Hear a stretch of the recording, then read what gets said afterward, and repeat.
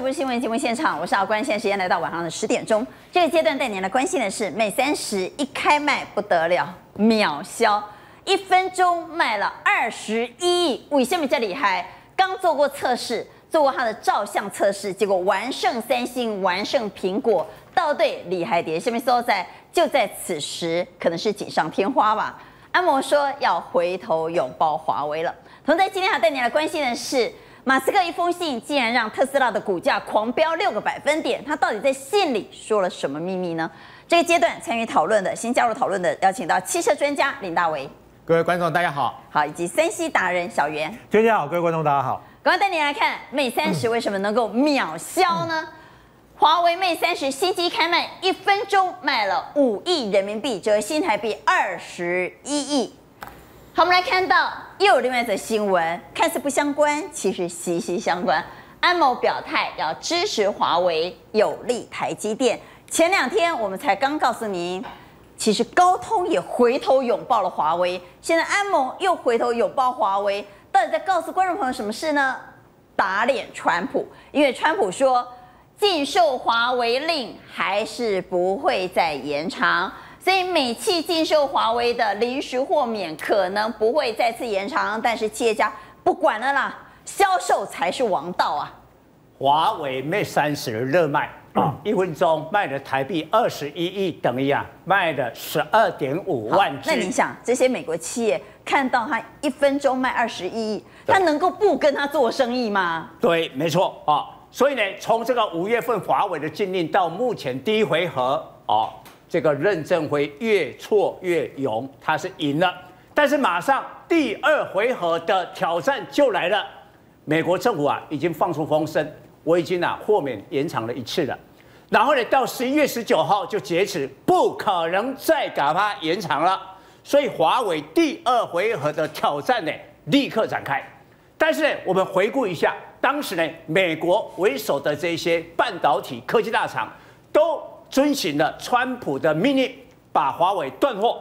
但到目前，我跟各位讲，美光、Intel、高通全部恢复对华为的供货。好，我们回来看当时断货的时候，法西社曾经这么说：说安谋技术无所不在，不能没有安谋啊！没有安谋怎么办呢？对华为而言，就如同被截肢了。华为有被截肢吗？没有啊，就过等的用啊。哦，但是哈，我们讲到所有的这个华为的供应链当中呢，这个安谋 ARM 啊，它影响最大。我们知道哈，手机的 CPU 呢是一个核心啊，但是呢，把这个电路板的设计的话呢，ARM 上的手机当中百分之九十哦，嗯，这个架构全部都被 ARM 的一家这个英国公司控制在手里。所以当时没有错，他假如说按不给这个华为供货的话呢，华为会被截肢。好，不过到现在呢，那为什么他现在好活得好好的呢？对啊，因为你啊，好像啊影响啊不大。所以现在最新的消息呢，阿姆说啊，我也决定呢啊继续支持了华为。所以阿某呢，面对现实也只好浪子回头了。所以阿某的执行长怎么说呢？我们来看在新闻谈到，阿某执行长说。安某长期合作的伙伴，我们现在跟华为和海思的紧密关系不能切断呐，所以我们要继续提供 V 八、V 九的架构给华为和海思。啊，董总想那讲的哦，董总说遵循美国禁令，立刻断供。应该好，当时啊，安某是遵循了川普的一个命令啊。因为当时呢有二十五趴的一个呃这个限制，就是说你用到了美国的技术超过二十五趴的话呢，你不可以跟华为做生意啊。那经过几个月来，现在安某说没有没有，我已经查清楚了，我们没有使用到美国的技术。安某假如说继续在对华为的供货的话，其实哈最大的受惠就是台积电，就是台积电。那现在安某跟我们的台积电已经决定最针对明年的五 G 系统单晶片 SOC 呢。他们要做一个开发，也就是说架构在 ARM 的这个架构，然后呢，呃，这个台积电来晶圆代工使用了七纳米。不过老实讲，回头一看一下哈，过去几个月当中呢，华为做了什么？对，华为也很争气啊。华为在禁令当中的时候呢，哦，站起来，我就要去美国化。那去美国化就是本来向美国厂商采购的话，改到别的地方啊来采购。我就举一个例子，让我们的观众了解，这个是真的是相当大的影响。本来这个华为的射频 RF 呢，就手机里面接收讯号最重要的一个零组件，最难做的，它跟 Skywalk 来这个啊这个来啊买的。但是呢，六月初的时候，Skywalk 啊宣布断华为的货。我们看一下股价，当时呢九十几块美金，现在 Skywalk 还只有八十块，没有过去，没有回到那个之前的高点。但是呢，华为说好，那我的订单就下给中国本土来一个叫卓胜微电子啊，请观众看一下，这是今年 A 股第一标股，标多少？标十倍，没有听错，十倍呀十倍。我们看直接看日 K，因为它今年是 IPO，从啊成交价是三十二块人民币，到今天呢已经是哦，今天涨停板三百八十二块人民币哦。那昨天是大跌，所以今天华为供应链就延后一天。我们礼拜五今天台北股市华为供应链全部压下来，但是今天收盘的结果，它再度的攻上涨停。那 RF 的订单就有一部下给台湾的利基，就是下给利基，所以利基才今年飙涨了两倍今，年会这么飙，就是这个原因几乎。可以用狂飙来形容。你你可以看它从五六月份的时候，股价就开始上上涨。这就是小回很细的、啊。嗯，好啊，我不要供货给你，让我戏吧，让不戏，让吹把人供货，结果别人撸短尾，这些公司呢开始苦哈哈的，怎么办？只好回头再来找华为啊。对，所以你可以看哈、他自己也很争气，就说他的鸿蒙系统，所以我的这个作业系统，我不要再用你 Google 的 OS 呃这个 Android 系统啊，我自己来。通常哈、一个系统自己做的话，最快最快要九个月。那你看五月 Google 不给他，现在八月九号他就已经发表了鸿蒙。然后他的麒麟九九零，对啊这一次为 Mate 三十立下战功啊。对呀、麒麟就是啊，第一颗啊，华为的五 G 系统单晶片啊，它比对手哈、体积少了百分之三十六。哎，未来五 G 的时代呢，这个手机呢寸土必必争啊，你越体积越小哦，这个功率啊就越高，当然就很成功。好，再过来我们讲，所有对啊，华为停止供货，只有一家股价，只有一家公司股价没跌，就是谷歌。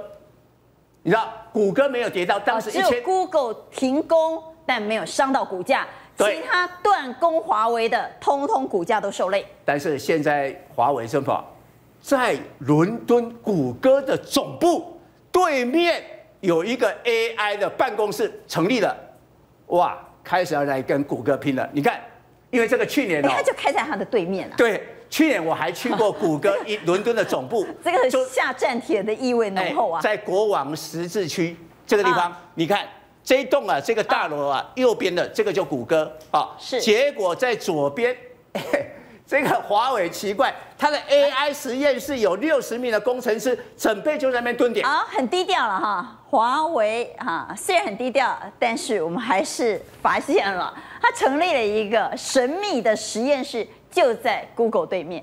对啊，只有你谷歌不受影响，谷歌你现在的这个安卓系统好，未来我可能就要跟你拼了。但是回头讲，真正最大的赢家是台积电而。且我说实在的，但狼喜信不喜把走为嘛？当年你在我最危险的时候对弃我而去，你现在回来找我，他的心情没港啊。但是谁不离不弃？我们台积电不离不弃，联发科不离不弃嘛，从来没有离开过华为。即便台积电曾经因为当时美国禁令。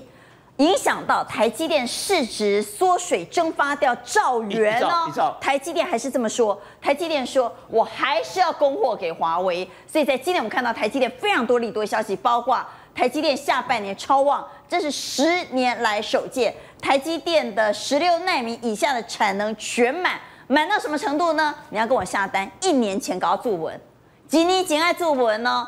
台积电因为七纳米急缺效应扩散，所以所有要下单七纳米的客户一年前就要下单，而外资纷纷调高目标价，现在几乎普遍都看到三字头了。对，哦，当时还传说连美国的商务部还有 AIT 呢，都派人去台积电要你说明为什么因为他说，哎，你在我的美国股市挂牌 ADR，我要来看看哎你有没有超过二十几趴。所以承受这么大的压力呢，台积电啊、业绩呢还是成长，就是对华为的不离不弃啊。那最新的数据呢？七纳米占今年台积电的营收会从去年只有九趴，今年会提高到二十六趴。那下半年的营收会比上半年成长三十二趴。所以你看，在这个地方的数字都非常漂亮啊，都是一个大幅的成长。重点是外资一次的看多台积电，现在看三字头就三百块，一头拉股的这个外资机构。那所以今天最高看到三二五了。对，那今天外资果然捧场。好，我们看股价，买超第一名就是台积电。好，股价在今天创下历史新高，非常两百七十二点五，市值七兆，这个都是呢历史的记录。外资今天买照的张数一万九千张。哇，所以呃，那怎么办呢？现在可以追吗？已经到二七二点五了，把就紧紧看一直 keep 安怎？哦，所以我补充一下哈，现在放大一点哈。今天随着台积电有两个最密切的伙伴也跟着涨，一个是它的子公司创意，好，创意来，创业由黑翻红啊。那现在听说大陆的品牌手机为了把产能挤进那个台积电的七纳米，都先下单给创意设计晶片，然后就顺理成章进去呢台积电的七纳米的制程。另外一个就是三六八零的加登，早盘也是跌，早盘也是跌的哈。今天尾盘，但是有拉尾盘尾盘突然的拉高，这个应该都是台积电效应。好，我们回头来谈，Mate 三十一分钟卖二十一亿，必定有它过人之处啊。所以最近据说做了实测，我们来看超狂实测，大家都在等这个测试啊。测什么？测它的照相。到底谁比较厉害？基本上被手机啊，相片够重要哎。我们来看华为 Mate 三十 Pro 打破世界最高峰，很厉害。这个真是太夸张了，这个记录真的是很惊人哦。世界最高峰哎，这个分数是几分呢？我们来看，因为我没有概念对，好。所以他说 Mate 三十 Pro 相机评测狂扫总分一百二十一分，成为排行榜的第一名，而且是新的世界最高分。三星的 Galaxy Note 10 Plus 五 G 以四分之差退居第二名，而苹果更惨，苹果摔出榜外。没错，这个四分是什么概念？我给大家看一下这个榜哦，基本上第一名跟第二名差四分，你去看第二名以后每一名都差一分，要不然就是平手，哎，你就知道说这个四分有多巨大。好，所以我们来看哈这个排行榜，嗯，最高分是华为，而且是创纪录的。对。华为 Mate 三十 Pro 哈，这是三星的 Galaxy Note 十 Plus 五 G 哈，这是华为、三星哈，其他品牌华为来，我们来看到华为哈。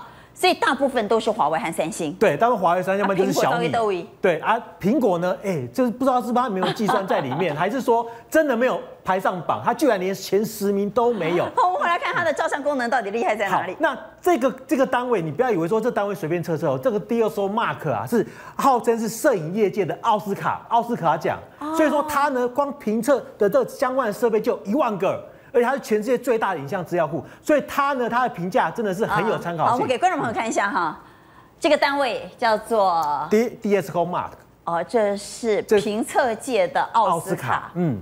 哦，来，那厉害在哪里？好，厉害在哪里？它这次会赢的关键有两个，一个是超级慢动作，另外一个就是夜拍的这个部分比较厉害。什么叫超级慢动作？这是它最新的一个官方的影片哦。它拍这只鸟。用它的超级慢动作，一秒钟七千六百八十张的一个魅力拍出来，在张开翅膀的时候，每一根羽毛在张的这个瞬间，是不是完全都没有任何的杂讯？拍得很清楚，很美了。但是呢，七千六百八十张是什么概念？我给大家比较一下，这个呢是它的直接拍出来的官方影片。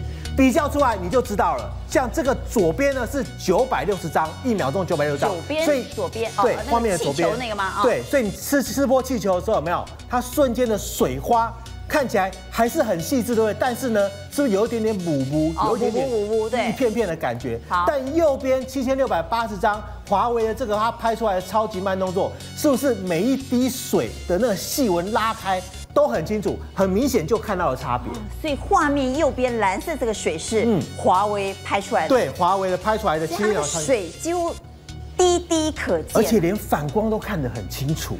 那反正左边的九百六十张就有明显的差别，真的超美耶，真的超美。好，这是超级慢动作这件事上，另外一个关键非常厉害，没错，非常厉害。另外一个很厉害的就是它的夜拍功能。好，夜拍，夜拍拍起来的话，哇，那个差距更大。我们三只手机来一起比好了，基本上呢，左边呢是 Mate 三十 Pro，中间呢是 iPhone 十一 Pro，右边呢是 Note 十 Plus，第二名的哦。一拍出来，看到没有？左边是不是特别的清晰，特别的亮？一个是偏，然后。对，最，左边。啊，不管是用什么样的一个角度拍摄哦，左边通常都是特别亮，而且它比较偏中间是苹果，中间是苹果的 iPhone 十一。哎，糟糕，糟糕，下面让我划掉。OK 啊，对不对？最右边是三星，三星 Note 十 Plus，而且你看中间的 iPhone 十一 Pro 还是有点点绿光，但是左边的这个 Mate 三十 Pro 是不是都很自然？不管是拍同一个地点吗？啊？拍同一个地点啊？三只手机一一字排开同时拍的，那怎么差那么多？所以有些什么都拍不到。对，所以你看三个，你一看就知道说，天哪，怎么左边这个这个照片更清楚了？我们可以看到在左边华为的，还看到点点星空，连星空都看得到，但是右边两个你完全都看不到。所以不管是从拍天空、拍电线杆。拍任何的景色，没有拍顺便街景，你会看到夜拍功能真的差的非常非常多。所以为什么它能够拿到世界冠军的一个原因？嗯，那它挤下谁？挤下三星。好，三星变第二名，所以三星呢不是滋味。对，但是呢，苹果呢也很不是滋味。苹果它有一个地方扳回一层。充电续航力扳回了一层，续航力的比较的话就看得很清楚喽。好，左边的第一只是那个华为的 Mate Pro Mate 三十 Pro。哦，左边第一只。那左边的第二只呢是 iPhone 十一 Pro Max。iPhone 十一 Pro。左边的第三只是对比左边第三只是 iPhone 十一，对，最最最基本版的。好，基本款。然后在电子的在持续的使用当中，开很多的城市，对不对？你会发现哦，第一个挂掉是左边所来的第三只 iPhone 十一。你在使用十一先挂掉，好，大概在大概在八个小时左右就挂掉了。那再来第二个挂掉是谁？不是苹果哦，居然是什么？居然是华为 Mate 三十 Pro 先挂掉了。它大概是跑八个小时十分钟左右。左边选那三只就好了，对对对对对对对。然后第二挂是左边第一只，有没有挂掉了？但是呢，看到没有？第二只是最久的是 iPhone 十一 Pro。左边数来第二只，对，左边数来第二只 iPhone 十一 Pro。Pro 哦，所以在充电电力续航力的表现上。新苹果，特别是 iPhone 十一的 Pro 是表现最好的，没错。所以结论是，观众朋友，如果你在乎照相功能的话，你要选择 Mate 三十；但如果你在乎充电续航力的话，可以选择新苹果 Pro 版。